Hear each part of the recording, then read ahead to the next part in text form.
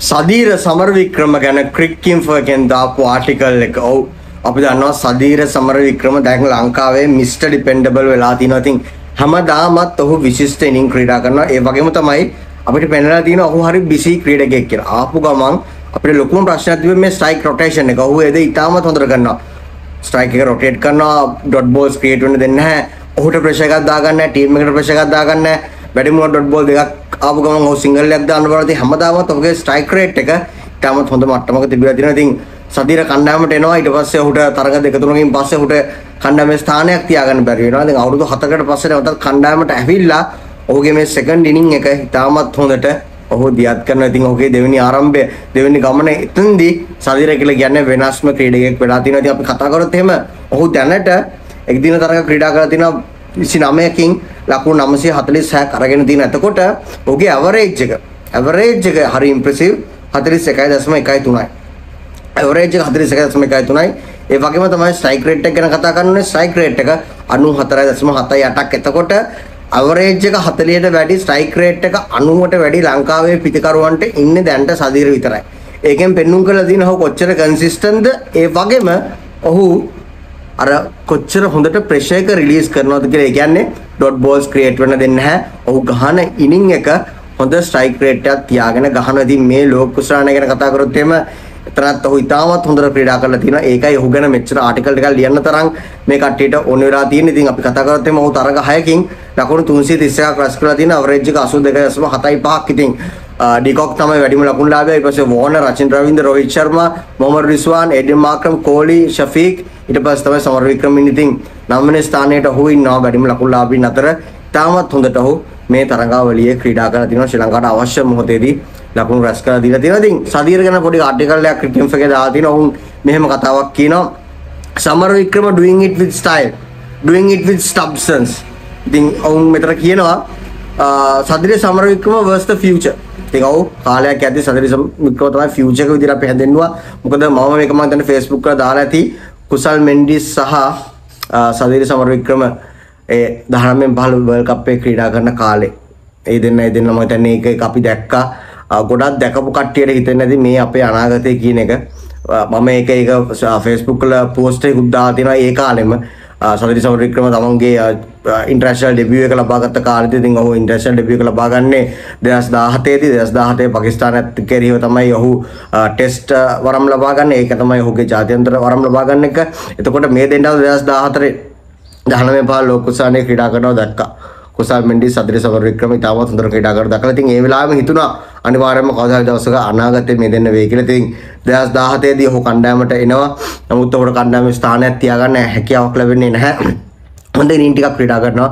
නමුත් ඊට පස්සේ එක පාටම ෆේඩ් වෙලා යනවා. ඉතින් අර හයි ක්ලාස් ක්ලාසික් ක්ලාසික ගතියක් තිබ්බ අපි මහජාවර්ධනගේ ඩ්‍රයිව් එක කවර් ඩ්‍රයිව් එක වගේ කියලා ඔහුට කියන්න ගත්තා. ඉතින් 2019 දී ඔහුට ස්ථානය අහිමි වෙනවා. නමුත් ඊට පස්සේ දැන් බලන්න 2023 දී අවුරුදු 4කට පස්සේ ඔහු කණ්ඩායමට ඇවිල්ලා ඉතාමත් ඉම්ප්‍රෙසිව්ලි ක්‍රීඩා කරලා තිනවා. කන්සිස්ටන්ට් නොක්ස් ඒ වගේම ප්‍රෙෂර් එක රිඩියුස් කරලා තිනවා ඉතින් මේ ආටිකල් එකේ කියවෙනවා he made his debut as a 22 year 22 year old for Sri Lanka and he didn't just pass the eye test. He shattered it. The cover drive he plays isn't a cricket shot. It is a love song. It is just that sometimes he seems to fall under its spell too. ඉතින් කියනවා අවුරුදු 22 කාලෙත් තමයි ඔහුගේ ඩෙබියු එක ගත්තේ. ඩෙබියු එක ලබා ගත්තේ. එතකොට එයා ඇවිල්ලා ලස්සන ස්ට්‍රෝක්ස් ටිකක් ක්‍රීඩා කරා. ඔව් ඒ කවර් ඩ්‍රයිව් එක නිකන් ක්‍රිකට් ෂොට් එකක් නෙමෙයි ඒක නිකන් ලව් සෝං එකක්. එයාත් ඒ ඒ ලව් සෝං එකට ෆෝල් වෙනවා. ඉතින් ඇත්ත අපි දැක්කා ඉංගලන්තයත් එක්ක ලකුණු 22කට කඩලු දෙකක් දැවි ගිල තිබිච්ච වෙලාව ඇවිල්ලා පළවෙනි පන්දුවට ක්‍රීඩා කරපු ලස්සන කවර් ඩ්‍රයිව් එක. ඉතින් ඒ වගේ මෙතන කියනවා mere weeks after his bright start against Pakistan Samar Vikram was dropped from the test team altogether because he kept making the same mistake over and over again.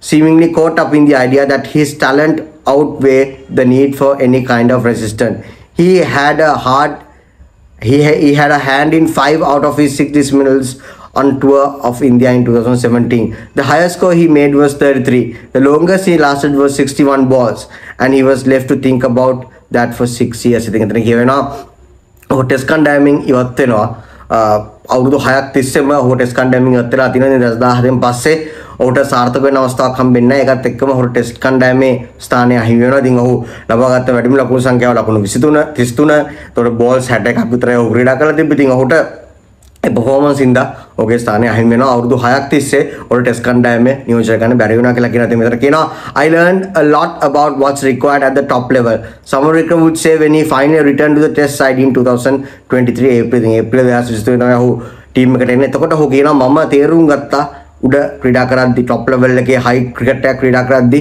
මගෙන් බලාපොරොත්තු වෙන්නේ මොනවද කියන එක. එතකොට since that comeback 100 against Ireland in Colombo he has played in 26 of Sri Lanka's 32 games across formats and he is the highest run getter at the men's ODI World Cup right now. ඉතින් ඔව් World Cup එකේ ලංකාව වෙනුවෙන් highest run scorer ඔහු කියලා කියනවා. ඒ වගේම across formats ඔහු ලංකාව ක්‍රීඩා කරපු තරඟ 32කින් 26ක්ම ඔහු ක්‍රීඩා කරලා තියෙනවා. ඉතින් සදේ සමරක්‍රම is the future. ඔහු තමයි අනාගතයේ කෙනෙක් කියනවා. He has found his purpose as a 28 year old for Sri Lanka and he is still shattering the eye test ඉතින් කියවෙනවා අවුරුදු 28ක කොල්ලෙක් විදිහට ඔහු ඔහුගේ පර්පස් එක ඔහු ඔහුගේ අනාගතය හදාගෙන තියෙනවා කියලා. ඉතින් මෙතන කියනවා big shot great shot brilliant shot. Wow. Crown Ramesh Raj from the commentary box as Samuel Kramer danced down the track to Mohammad Nawaz left spin and hoisted a ball that was maybe two stumps or so outside of stump over cover six. ඉතින් මේ අර පොඩි commentary part එකක් දීලා තිනවා. ඉතින් ඊතර ඒක කියවෙනවා. ඒ වගේම කියනවා the offside has always been his happy place. He once hit as many boundaries as the entire England team did in an under 19 World Cup match and the covered region got extra special attention විතර කියනවා ඉංගලන්තයත් එක්ක ක්‍රීඩා කරපු එක තරඟයක ඔහුට හැකියාවක් ලැබුණා. මුළු ඉංගලන්ත කණ්ඩායමටම වඩා බවුන්ඩරිස් ප්‍රමාණයක් කියලා ගන්න. මොකද මම කිව්වා ඔහුගේ ක්ලාසික් ඩ්‍රයිව් එකක් තියෙනවා. ඉතින් ඒ දේ ඔහු උපරිමයෙන්ම කරලා තිනවා. ඉතින් දැන් කියවෙනවා සෞර් Vikrama has replaced that strength as he's moved up levels but there there was a sense he's just never stuck around to do himself justice. Until his breakthrough century earlier this year only four of his 24 innings across formats hit the 35 ball mark. Since his 104 not out against Ireland that count as transition to 13 in 24 innings ඉතින් ඔහුගේ test ඒ island එක ලබාගත්ත සෙන්චරියක් ගැන තමයි කියවෙන්නේ. ඉතින් මෙතන කියවෙන්නේ ඔක්කොම uh, සදීර ගැන හොඳ දේවල්. ඉතින් uh, ODI ක්‍රිකට් වල ඔහු කොහොමද uh, ක්‍රීඩා කරලා තියෙන. එතකොට ඔහුගේ ඩවුන්ෆෝල් එක කොයි වගේද තිබ්බේ? ඒ ඩවුන්ෆෝල් එක යක් මම මේක ඔක්කොම කියවන්න යන්නේ නැහැ. ඉතින් ලෝක කුසලානේදී ආසන් කුසලානේදී ඔහු ක්‍රීඩා කරපු විලාසය. එතකොට දැන් ඔහු රන්ස් ලබා ගන්නේ කොහොමද කියන එක ගැන තමයි කියලා තියෙන. ඉතින් ඇත්තටම සදීර කියලා කියන්නේ මම දැන් මම අර කිව්වා වගේ ඔව් අපි ඒ කාලේ අnder 19 World Cup බාදී දැකපු දේවල් දැන් ඇත්ත වෙලා තියෙනවා. ඉතින් මම අර කිව්වා වගේ හැමදාම අංක 3 4 5 නම්බර් 3 4 5 අපිට කන්ෆර්ම් මේක මුකුත් කරන්න ඕනේ නැහැ. ඒක ඕපනින් ස්ලොට් එකක් කන්ෆර්ම් පැතුම් නිසංග එයාට දීලා තියෙන රෝල් එක එයා කරනවා. ඉතින් අපිට ඕනේ මොඩරේට් ඕපනර් කෙනා ඇටැකින් ඕපනර් කෙනා. ඉතින් ඒ දේ පැතුම් කරනවා නම් තව කෙනෙක්ට ඒ දේ කරන්න බෑ. ඒකට පැතුම්ට ඒ රෝල් එක අර ඉනිම අල්ලන් යන මම හැම වෙලෙම කියනවා අපිට හැම වෙලෙම හිටියේ එක්කෙනෙක් ඇටැකින් ඕපනර් කෙනෙක් එක්කෙනෙක් මොඩරේට් සෙඩේට් ඕපනර් කෙනෙක්. සරත් ඇටැක් කරද්දී තරංග ඩිෆෙන් කරනවා. එතකොට දිල්ෂාන් ඇටැක් කරද්දි තරංග ඩිෆෙන් කරද්දි ඕක තමයි උනේ. ඉතින් ඒ වගේ එකක් තමයි ඒ වගේ කම්බිනේෂන් එකක් තමයි අපිට ඕනේ. ඉතින් මම කියනවා වගේ අංක 3 4 5 කන්ෆර්ම් කුසල් සදීර චරිත් ඒ වගේම ඕපනින් පැතුම් නිසංක කන්ෆර්ම් ඉතින් බලන් ඉමු. සදීර ගැන මෙච්චර හොඳ කියනවා.